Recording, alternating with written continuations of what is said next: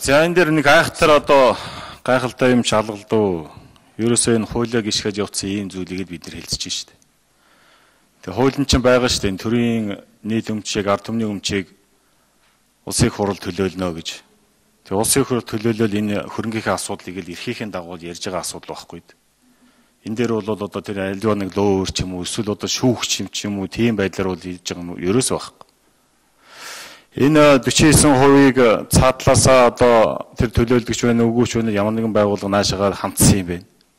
А тэгвэл хуулийнхаа дагуу эн чин засгийн газар энэ үүлээс энэ 49%-ыг их хурлда өргөн бариад ингээд 49% ороод ирлээ.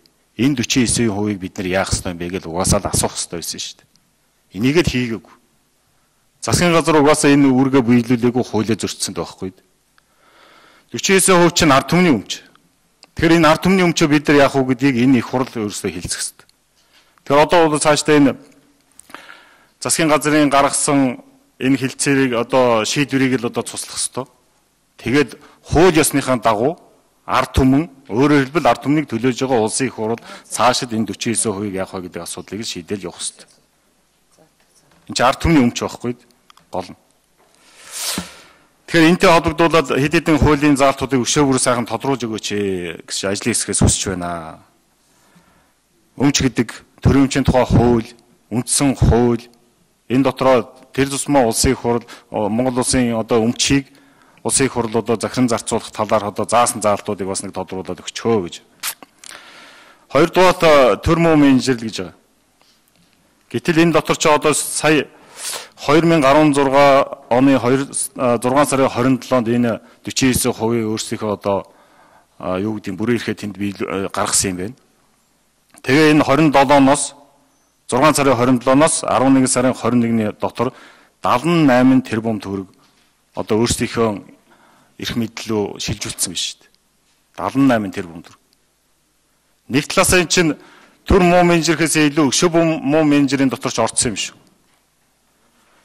Энэ аливаа худалдаа авалтын дотор бид нар ч худалдаа авалтын тухай хуулийнхаа дагуу зарчмынхаа дагуу эн чинь уралдаан шалгаруулаад илүү юм хийж яж энэ худалдаа авалт чи явж явах хэрэгтэй шүү дээ. Нийлүүлэх э, бараа таваар нийлүүлэх гэрээ эн чинь бол тэгж явах хэрэгтэй. А гэтэл эн чинь дотоод 49% нь өөрсөө өөрсдөө энэ дотор орно гэдэг маань эн чинь гүйцэтгэх удирдлагадаа бол дарамт үзүүлж яж авч яах гэсэн үг шүү дээ. Өөрөөр хэлбэл ашиг ашиг сонирхлын зөрчилтэй байна гэсэн үг. Тэгвэл эн чинь ямар нэгэн хувийн хвшил орж ирээд эн чинь сайхан одоо зөв зүйтэй э, зөв менежер бол таарах үт. Бүр эсрэгээр буруу менежер орж иж шин дотор. 49-ийг аваад тэгээд энэ үйлдвэрийг хох сорох, энэ үйлдвэрийн бүх үйл ажиллагаа руу өөрсдөө дотор орох. Тэгэхээр энэ дээр тэр 78 тэрбум төгрөг бас гараад явсан энэ үйл ажиллагааг бас тайлбарж өгөөч. Нөгөө тэгвэр 2012 2013 оны ноогдлагчдгийг эн чинь өөрсдийн юмгээд авцсан байх юм. Уг нь бол эзэн эн чинь 2016 онд эзэн болоод суугаад орж ирсэн шүү дээ 49%. А тэгчээд 2000 айл диван гаруй 2012 13 оны 10 гаруй хэдэн тэрбум төгрөгийг тэр чигээр нь зүгээр өөрийн эзэмшлэн болгоод ингээд авчиж шүү дээ. Энд чи ямар нэгэн байдлаар дарамт үзүүлж шээ. Энэ хуулийн одоо хуулиа мөрдөх хэдэр гэсэн ийм зарчим бол алга байна шүү дээ. Тэгэхээр энэ дээр бас нэг тайлбар хийж өгөөч гэсэн ийм л асуулт. Арднаас өдөр хариулах.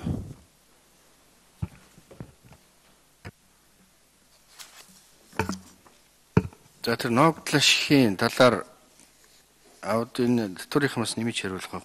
Ер нь бол Эрдэнэт биш 2011 онд 508 тэрбум төгрөг, 12 онд 404 тэрбум төгрөг, 13 онд 401 тэрбум төгрөг, 14 онд 382 тэрбум төгрөг, 15 онд 323 тэрбум төгрөгийн татвар төлж исэн юм байна.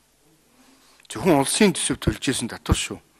Дээрээс нь орон нутгийн төсөв төлсөн татварын дүн энэ дотор ороогүй. А орцсон дүн нь байна. Тэгээ өнөөдөр энэ 16 оны 10 сарын 31-ний байдлаар ихэд 71 тэрбумын татвар төлөлдсөн. 10 сарын 31-ний байдлаар. Тэгээ тэрнээс хойш ерөнхий прогноз тооцоог нь харахаар 100 гаруй тэрбумыг л төлөх юм байна. Нийлээд ирэх 30-аад байгаа гэдэг ингэж. Та бүхэн тэгэл ингээл бод. Таны хэлдэг нөгөө төр муу менежер биш, жинхэнэ муу менежер шин тэн дотор орсон юм гэдэг чи. Бод дүн багхгүй. Энэ үгдийг цэгцлэхгүй болохгүй гэдэг бол зүй ёсны юм аа. А тэр ногдлоо шиг наашаа шаашаа хилцсэн асуудал бол яг Оросын талын засгийн газрын худалдаа авахтай холбоотой сүүлийн бичиг байд юм билээ. 12 13 оны ногдлоо шиг бид авахгүй энэ евро 49-ийг худалдаж авсан тал руу шилжүүлэхэд бидний зүгээс юу яахгүй гэсэн. Шилжүүлэхэд болно гэсэн агуулгатай. Тийм учраас эдгээр шилжүүлж авсан. А тэр энийг 6 сарын 30-наас 11 сарын 30-ны хооронд баг. Энэ хугацаанд хийсэн энэ шилжүүлгийн тооцоо нийлээд 58 орчим сая доллар. Тэгээд нэг 20 орчим тэрбум төгрөг байгаа шүү дээ. Ач нийлээд. Зөвхөн худалдаа авах ажиллагаа хоёрхан газрын худалдаа авах ажиллагаа бид нар ярьж байгаа шүү.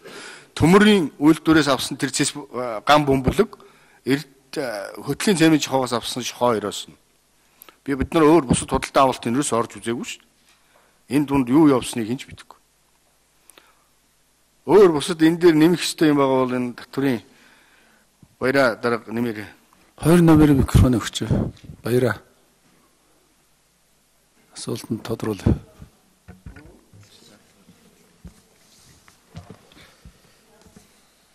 За үндэсний аудитын газар батя.